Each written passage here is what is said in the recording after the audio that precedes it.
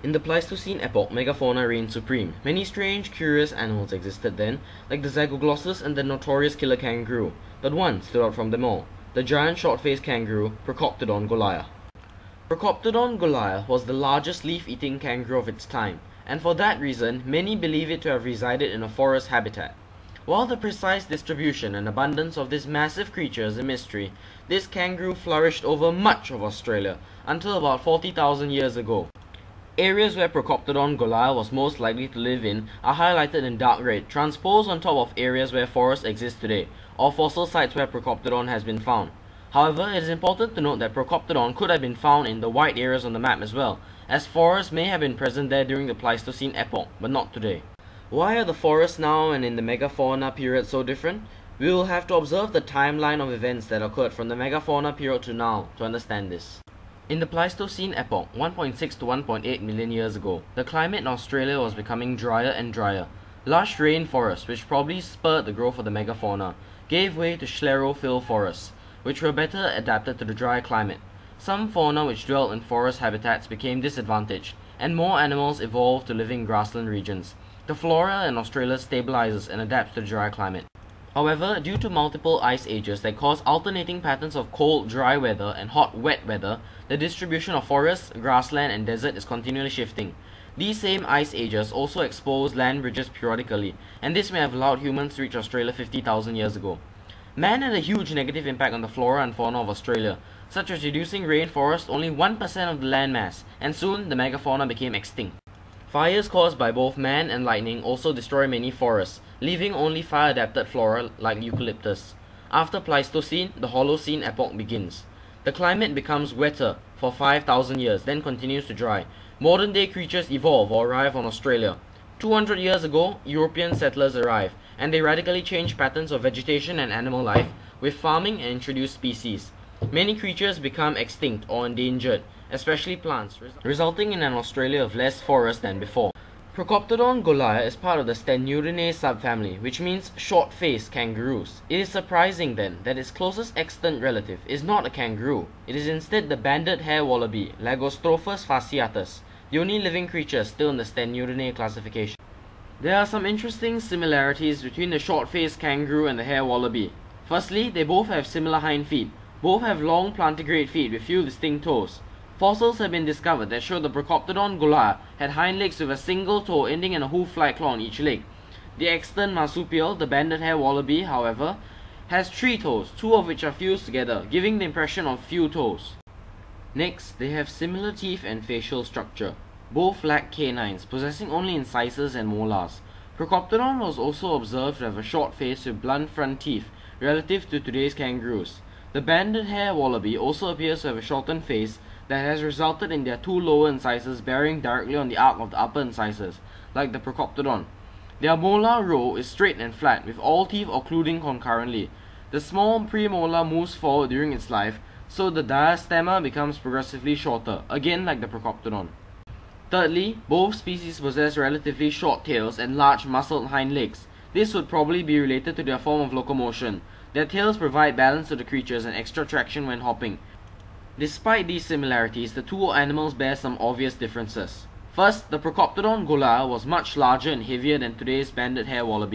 The goliah is predicted to have grown up to 3 meters tall and weighed up to 200 kilograms. In contrast, a banded hare wallaby can only reach 0.8 meters tall and weighs 100 times less at an average of 1.7 kilograms. This is probably due to the fact that the goliah lived in a time when food was abundant and hence it grew to large proportions. In contrast, the hare wallaby's small size will allow it to survive longer should a food shortage occur in today's harsher climate. The Procoptodon goliah was also bipedal. It would have been on its hind legs most of the time. In contrast, banded hare wallabies are observed in a quadrupedal position most of the time. Finally, Procoptodon goliah also had very long arms, and its paws had fingers with hooked claws, and it could use these hands to grasp objects. It is predicted that the Goliath obtained food from higher branches using these hands. This is a direct contrast to the wallaby, which has relatively short arms, which are not used to obtain food in the same manner. Could the climate alone have resulted in such differences in the Goliath and the hare wallaby? The megafaunan climate was different as firstly, it is a lot drier today. Ever since the start of the Pleistocene epoch, the megafauna age, the entire world is becoming drier and drier, especially as Australia continues to move north. Rainfall in Australia is rarer today than in the megafauna period. Fires today are much more frequent than in the megafauna period due to increased dryness of the land, such that a single lightning bolt can set off fire. Temperatures are more homologous in the megafauna period, with cold seasons and hot seasons having similar temperatures. Today, Australia experiences increased seasonality. Cold seasons are colder and hot seasons are warmer. One similarity of the two climates, though, is that global climatic shifts, like El Nino and La Nina, have similar effects of increased and reduced temperature and rainfall. The Procoptodon goliath of Australia could have been compared with a similar megafauna in North America, Jefferson's ground sloth, Megalonyx jeffersoni. While they may look dissimilar, there were some startling similarities between them. First, both are estimated to have reached an average height of 3 meters tall. They were probably both bipedal to some extent, as the Goliath's leg bone structure indicates it was probably standing or hopping most of the time, and the Jeffersoni's hip bone shape indicates they could stand up to eat tree leaves. Both are also believed to be herbivores. Jeffersoni had teeth that were small and blunt, in keeping with the idea of a herbivore diet. However, Procoptodon had a short face and a deep skull that provided a powerful mechanical advantage to their chewing muscles, allowing it to eat tough leaves and stems. Goliath and Jeffersoni also both had plantigrade feet, and probably the same way of obtaining food. Procoptodon is believed to have stood on its hind legs and propped itself up with its tail, using its aforementioned hands to take food from high branches. Jeffersoni also propped itself up in a semi-standing position on its flat feet using its tail, and then it used its hand-like claws to obtain food from high branches. One obvious difference, though, would be that Jeffersoni claws were much larger than Goliath claws. Goliath claws were probably used to pull tree branches down and eat off the branches, while Jeffersoni claws could be used to strip bark off branches and even cut them down. Another difference would be while Jefferson's sloth could stand in a bipedal position, particularly to obtain food, it would have moved around in a quadrupedal position. The two outer digits on its front claws, which correspond to our ring and little fingers, were modified to help bear the animal's massive weight on all fours. In contrast, the structure of the Procoptodon's leg bones show evidence of dense musculature that would allow it to jump. Procoptodon was probably more bipedal than the Jefferson sloth.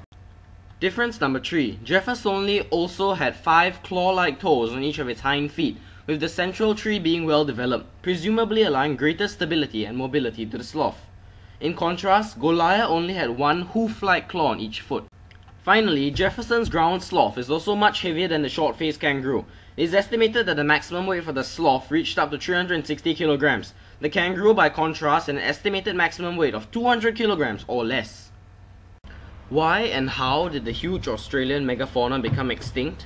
It was probably due to a combination of climate change and human predation.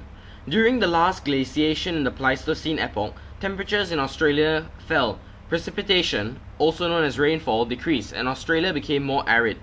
Humans in the same period hunted megafauna, which were easy prey and provided a lot of food.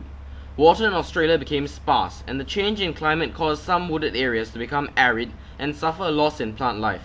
Less nutritious xeromorphic plants, not unlike cacti today, replaced much flora. Humans burning forests to hunt animals that fed on the regrowth also resulted in a loss of habitat for the animals. Fossil records suggest that megafauna were constrained by the area their food grew in, around the shrinking inland lakes or moist areas close to the East Australian seaboard.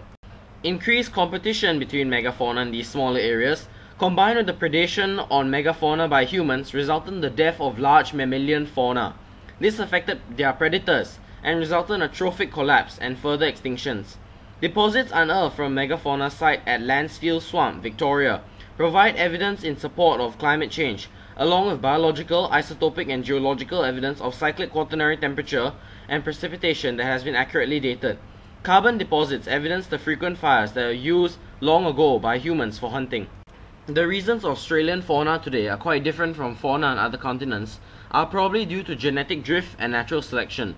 Genetic drift occurs when a group of individuals leaves a population and establishes a new one in a geographically isolated region.